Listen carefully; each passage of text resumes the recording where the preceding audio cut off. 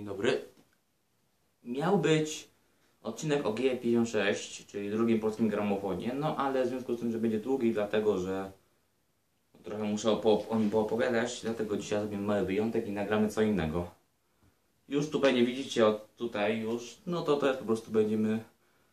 Omówię Wam album Obsession, czyli jeden z dla mnie lepszych płyt od Blue System, Dietra Bolena. No i ta płyta, to jest akurat płyta, tak się składa, winylowa. Według mnie jedna z lepszych. Znaczy dla mnie jeszcze bardzo dobrą płytą na przykład jest ten Seed no i tych takich już nie winylowych to X10. Mm, To taka płyta winylowa pochodząca z roku 90. No troszeczkę już zmiana brzmienia w porównaniu do Twilighta albo do um, Body Hit. No ale płyta tak czy siak jest dla mnie bardzo dobra.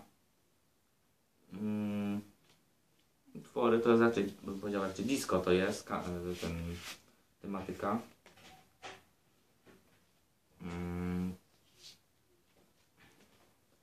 To jest rok 90, czyli płyta winylowa była już taka, jakby to powiedzieć, mniej popularna, bo wtedy już ludzie przechodzili na inny format, nazwaną płytą CD. No i Tu mamy, tu mamy jeszcze, tak się wyrażę, nazywam możliwość zdobycia również w innych formatach. Pierwszy jest winyl, tutaj jest, tu jest kaseta, a drugie to jest CD.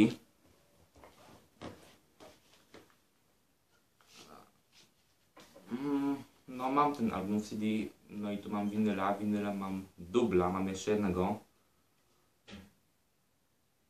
Ten akurat stan oceniam na Excellent z plusem. Troszeczkę płytka krzywa jest, ale nie wpływa to na odtwarzanie. No i tak, z utworów to trzeba wyróżnić. No Love is Lonely Sword, When Sarah Smiles, Behind the Silence, czyli ten słynny instrumentalny utwór, 2000 Miles, 48 Hours, I am the pilot of your love.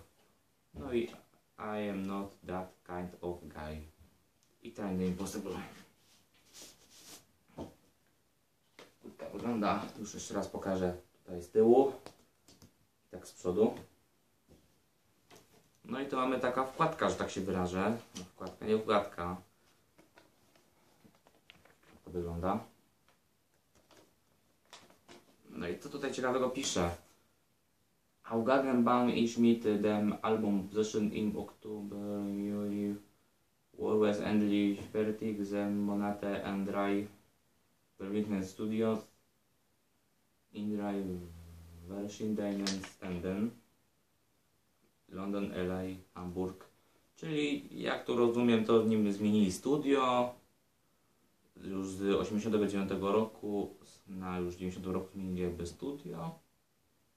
No i tak, i to jest jedyny album w 90 roku wydany. Potem był Seeds of Heaven, którego na winylu mam. Po Seeds of Heaven był Deja Vu, a po Deja Vu był Hello America.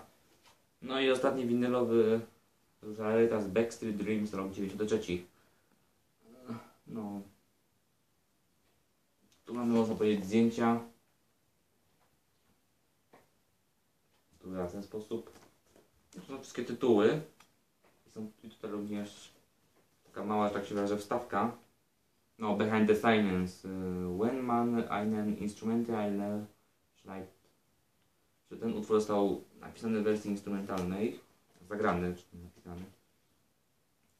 No i tutaj mamy kolejne. Z drugiej strony wygląda to w ten sposób. A, no i tak. No i płytka. Złap to teraz tylko.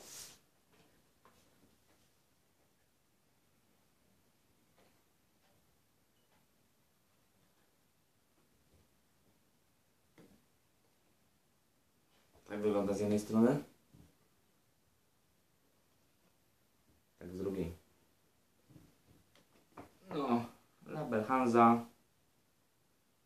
Pierwszy press 210 995. Nie żaden sonokord, nie klubowy, typowy pierwszy press. No tak jak mówiłem, tutaj jest w Excellencie. I to taki Excellent takim dobrym plusem. No Nirmintem on nie jest, bo była tam przesłuchana kilka razy. Tylko, że pamiętamy, ja mam G8010, to jest trochę inny gramofon i on może troszkę to inaczej tą płytę odtwarzać. Może przeskok być na początku jest czasami przeskok u mnie, a po prostu wiadomo, igła zsuwa się, wiadomo, igła nie trzyma się dobrze salwadorowka. No, trzeba oczywiście przyznać, że to jest igła sferyczna, chociaż niby się trzyma dobrze rowka, ale no, zwiększa się nacisku na płytę, to tego, że tego nie będziemy robić. No i broń Boże, tylko na G56 żadnych bambino, nie kłaść płyty w ogóle, bo będzie szkoda. Jak taki gramofon zafrezuje, no to będzie szkoda. Będzie szkoda wielka. No cóż. Nawet na Arturze bym tego nie kładł, pomimo, że jeśli ten nacisku, to jak przyjadę, będzie czeszczeć. Drugi, trzeci raz to pewnie jak tam się to będzie przeskakiwać, tak? Dla mnie płyta jest 9 na 10. Mm. Może i nawet 9,5. No do dziesiątki brakuje trochę według mnie. Mm. Za BMG. No to jeszcze raz pokazuję tu z przodu i z tyłu. Dobra, to na tyle. W następnym odcinku wreszcie zobaczycie mojego G56. Zobaczycie jak ten drugi polski gramofon wyglądał. Jest już jeden filmik na YouTubie, ale pokażę jak mój egzemplarz wygląda, bo mój trochę, troszeczkę inaczej wygląda. Nie jest on domontowany do radia, jest on walistę. To mogę tylko powiedzieć. Na następnym odcinku zobaczycie jak to wygląda. Dobra, ja kończę już. Do zobaczenia następnego odcinka. Cześć.